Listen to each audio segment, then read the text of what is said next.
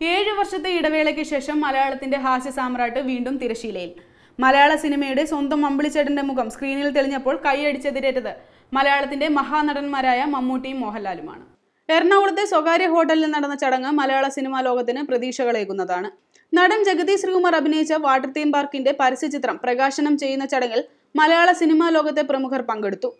വാഹനാപകടത്തെ തുടർന്ന് സിനിമാ ലോകത്ത് നിന്ന് ഇടവേളയെടുത്ത ജഗതി ശ്രീകുമാർ നീണ്ട ഇടവേളയ്ക്ക് ശേഷമാണ് വീണ്ടും അഭിനയവുമായി ക്യാമറയ്ക്ക് മുന്നിലെത്തുന്നത്. തിങ്കളാഴ്ച വൈകിട്ട് ഏഴ് മണിയോടെയാണ് പരസ്യ ചിത്രത്തിന്റെ പ്രകാശനം നടന്മാരായ മമ്മൂട്ടിയും മോഹൻലാലും ചേർന്ന് നിർവഹിച്ചത്.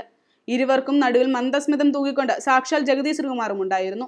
ജഗതി ശ്രീകുമാറിന്റെ എന്റർടൈൻമെന്റ്സിന്റെ ഫേസ്ബുക്ക് പേജ് ഉദ്ഘാടനവും പ്രസ്തുത ചടങ്ങിൽ മമ്മൂട്ടിയും മോഹൻലാലും ചേർന്ന് നിർവഹിച്ചു. സിനിമാ ലോകത്തുള്ളവർ ഒന്നടങ്കം ജഗതി ശ്രീകുമാറിന്റെ തിരിച്ചുവരവിന് ആഗ്രഹിക്കുന്നുവെന്ന് പരസ്യചിത്രം പ്രകാശനം ചെയ്ത ശേഷം നടൻ മമ്മൂട്ടി പറഞ്ഞു. സിനിമയുടെ വെള്ളി വെളിച്ചത്തിലേക്ക് ജഗതി മടങ്ങി വരുന്നതിന്റെ ആരംഭമാണ് ഈ പരസ്യചിത്രമെന്നും അതിന് വഴിയൊരുക്കിയ ജഗതി ശ്രീകുമാർ എന്റർടൈൻമെന്റ്സിന് നന്ദി പറയുന്നതായും മമ്മൂട്ടി പറഞ്ഞു. ജഗതി ശ്രീകുമാറിനൊപ്പം അഭിനയിക്കാൻ സാധിച്ച സിനിമകളെല്ലാം തന്റെ മനസ്സിലുണ്ടെന്ന് നടൻ മോഹൻലാൽ പറഞ്ഞു. ജഗതി ശ്രീകുമാറിന്റെ നാമധേയത്തിൽ ഒരു ഷോട്ടെങ്കിലും ഉൾപ്പെടുത്തി പുതിയ സംരംഭം ആരംഭിച്ചതിന് മോഹൻലാൽ നന്ദി പറഞ്ഞു. ഏഴു വർഷമായി സിനിമയിലില്ലെങ്കിലും മലയാളികളെന്നും ജഗതിയെ കണ്ടുകൊണ്ടിരിക്കുകയാണെന്നും മോഹൻലാൽ കൂട്ടിച്ചേർത്തു. വെബ് ഡെസ്ക് തത്തുമൈ ന്യൂസ്.